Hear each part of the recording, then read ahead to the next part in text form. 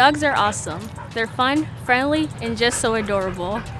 They make great companions and they love going for walks on the greenways. But as their best friends, you have to keep them safe. Keep them leashed so they don't walk off, and keep them close so they don't trip up other people on the greenway. Your dog loves you, so do your part and give them a great time out on the greenway.